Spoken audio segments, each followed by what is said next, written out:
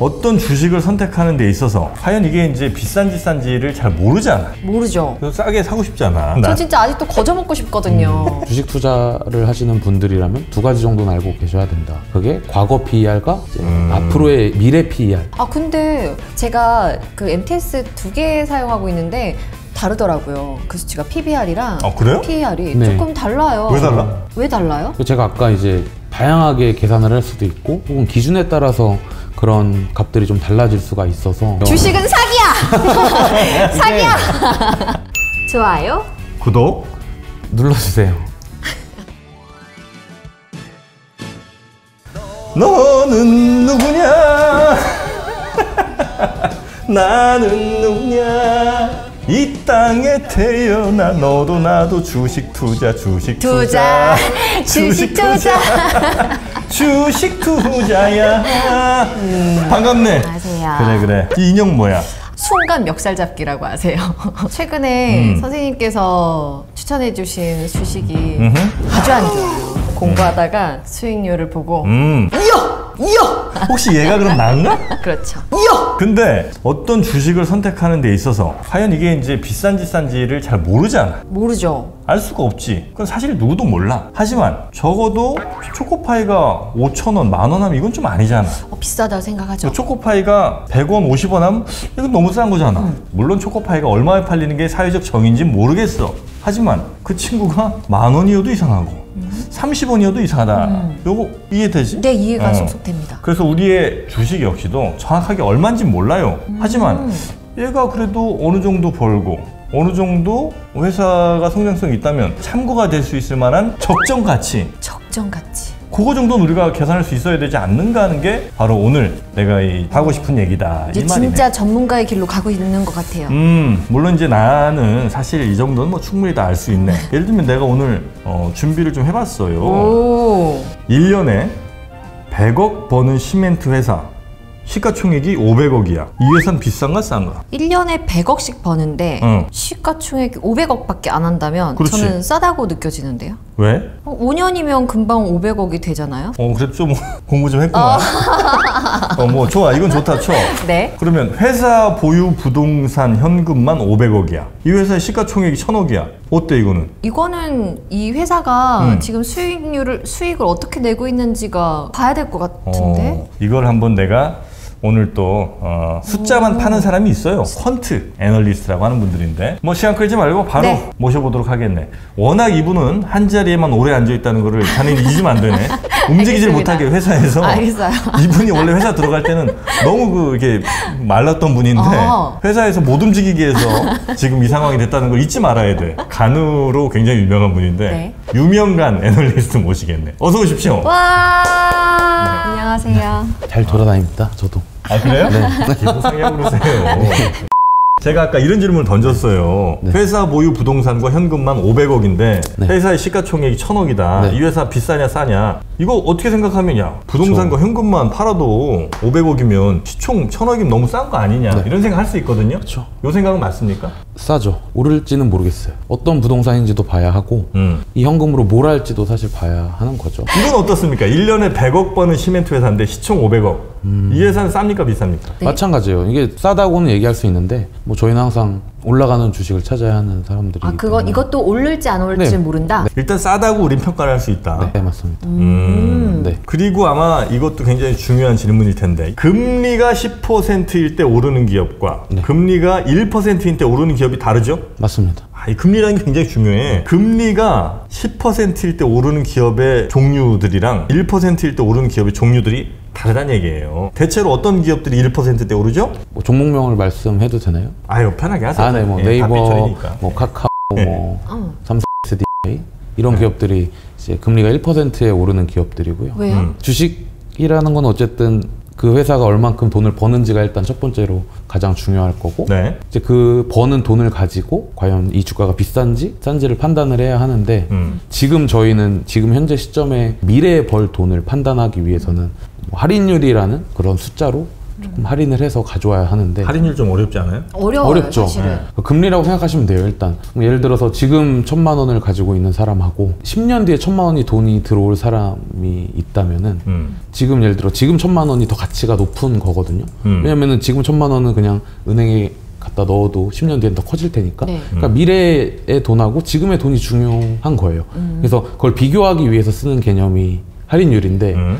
금리가 이제 1%라면은 할인율이 작잖아요. 10년 뒤의 돈하고 지금 돈하고 큰 차이가 되는 없다고 거죠. 차이가 보네요. 없다. 예를 들어서 네이버, 카카오는 훨씬 더 미래에 벌 돈이 많은 기업들이잖아요. 음. 성장성이? 크다고 네. 생각되는 기업들. 네. 오. 이제 금리가 낮은 수준, 그러니까 할인율이 낮기 때문에 그 미래에 벌 돈을 지금 갖다가 땡겨 와서 비교를 할 때 쓰더라도 큰 차이가 없는 거예요. 네. 반대로 금리가 이제 10%라고 하면은 당장에 얼마큼 벌지가 더 중요해집니다. 왜냐하면은 먼 미래에 있는 돈들은 가치가 점점 없어져요. 아, 네. 약간 어렵긴 어, 하다. 자 그러면 이렇게 내가 얘기를 해줄게요. 자 네. 지금 1억 버는 회사가 있고 지금 10억 버는 회사가 있어요. 네. 당연히 지금 10억 버는 회사가 훨씬 더 좋지. 좋지. 근데 이 1억 버는 회사는 앞으로 10년 후에 한 100억 벌 수 있을 것 같아. 왜냐면 네. 계속 성장하는 산업 분야니까. 근데 지금 10억 버는 회사는 10년 후에도 잘해야 한 100억쯤 벌 것 같아. 음. 여기도 이제 크긴 크지만 성장률이라는 게 이쪽은 100배고 이쪽은 10배예요. 네네. 그렇게 비교를 할 때 지금 금리가 1%라면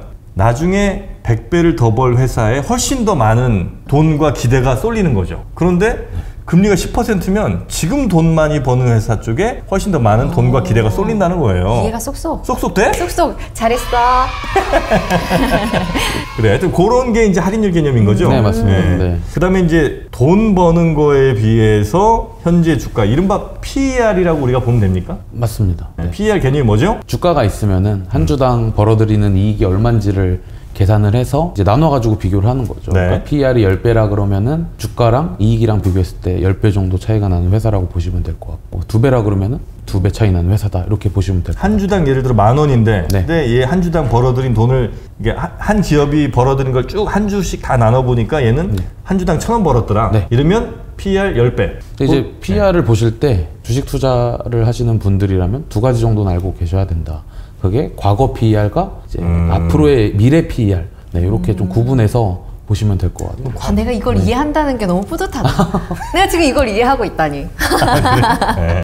업종으로 보면 그러면 어느 쪽이 PER이 좀 높은 편이에요? 예를 들어 바이오 당연히 높을 거고. 그렇죠. 소프트웨어, 바이오, 바이오 소프트웨어. 그리고 지금 전기차 여긴 대충 몇 배? 한 50배 밖에 나와요? 그쵸. 지금 거의 50배에서 60배 사이에서 거래가 되고 있다고 보시면 돼요. 저도 이제 주식을 샀거든요. 하나는 삼성 SDI를 네. 샀고 하나는 카카오 네. 이렇게 한 주씩밖에 못 샀어요. 돈이 네, 네. 없어가지고. 근데 카카오도 굉장히 높죠. 그쵸. 카카오가 제가 알기로 한 60배 정도?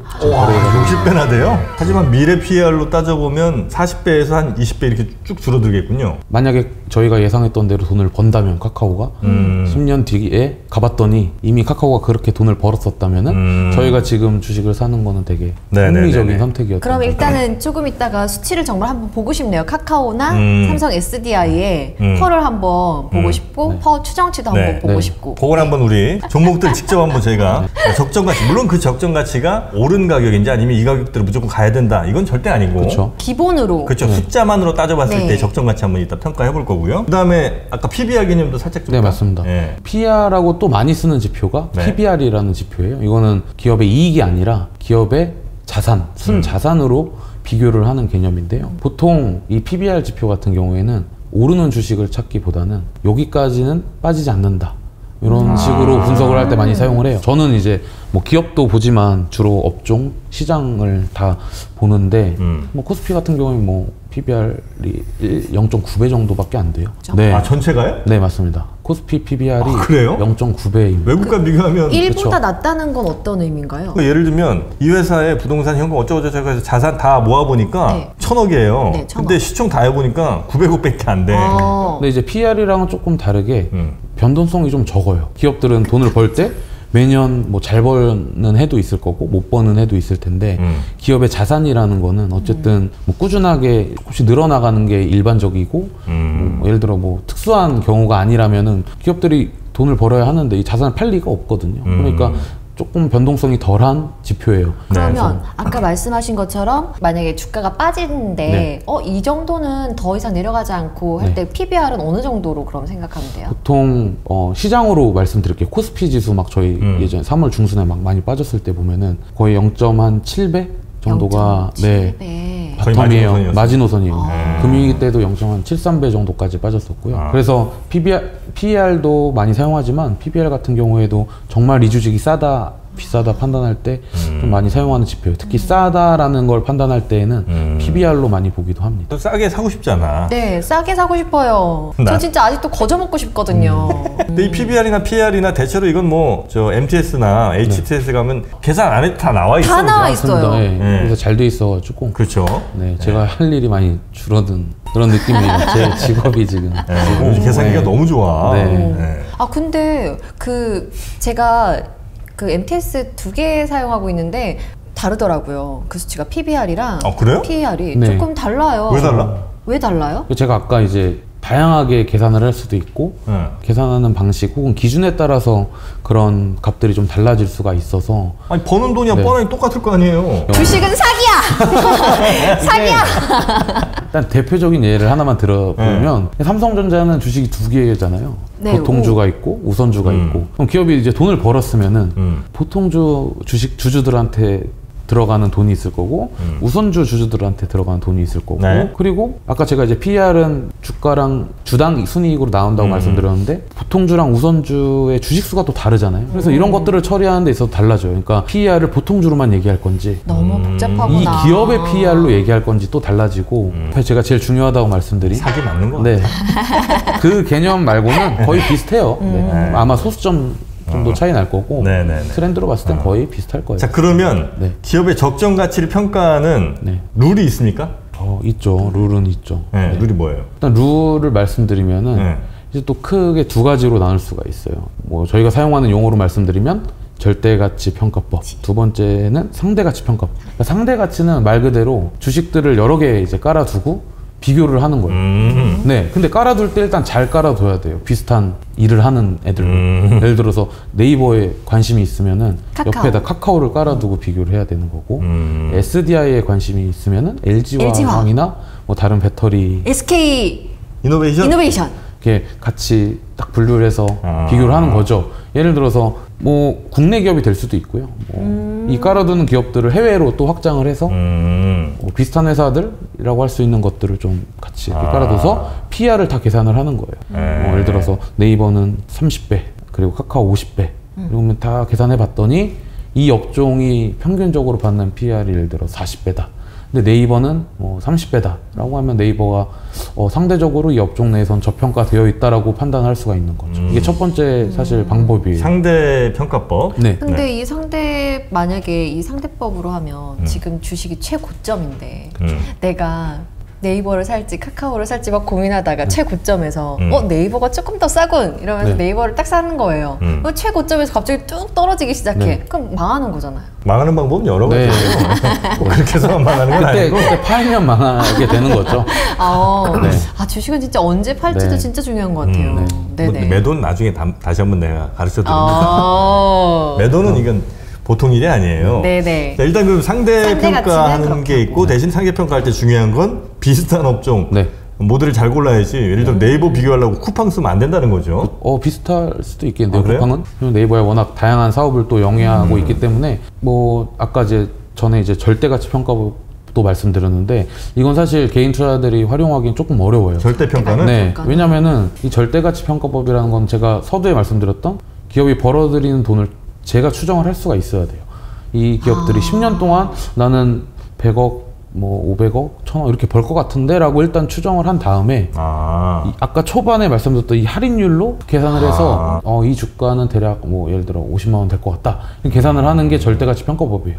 그러니까 다른 기업들하고 비교하지 않고 순수하게 그 기업이 앞으로 벌 돈과 음. 적정한 할인율을 가지고 목표 주가를 설정을 하는 건데 아. 그러면은 조금 굉장히 주관적인 그쵸. 게 많이 들어가겠네요. 네, 맞습니다. 굉장히 주관적인 요소 많이 들어가고요. 음. 그래서 그런 평가한다는 한다라는 건 어쨌든 되게 산업에 대해서도 이해가 좀 이해가. 굉장히 깊어야 되고 뭐 할인율도 되게 민감해요 사실 이게 1%냐 2%냐 저희가 가정만 달라도 네네. 목표 주가가 다르게 나오기 때문에 그래서 이게 HTS나 MTS에서 보는 PER 지표를 딱 봤을 때 이 주식을 사야 되는지 팔아야 되는지 판단이 어렵다라는 게 사실 현실적인 답이에요 사실 절대로 하긴 좀 어려울 네. 것 같으면 나한테 물어봐. 응, 내가 다 절대 평가 다 하고 있으니까. 아 진짜요? 네. 알겠습니다. 기업 딱딱 물어보면 딱딱 나온다고. 그러면 네. 이렇게 해보죠. 우리 저 이지선 제자가 네. 지금 사놓은 주식이 네. 총세 종목이 있어요. 맞습니다. 여기 소중한 투자금으로 사놓은 거. 네. K모 바텍, 그 다음에 카모오, 또 하나가 삼성 S모 아이.